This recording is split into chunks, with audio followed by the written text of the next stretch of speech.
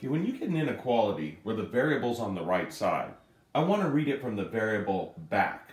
So this says y minus 1 fourth is less than 1 fourth. So I'm going to rewrite it y minus 1 fourth is less than 1 fourth.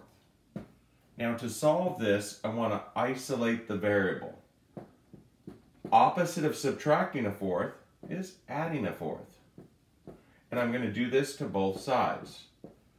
Now when we add fractions that have the same denominators, I keep the denominator and add the numerators. So y is less than 2 fourths or 1 half.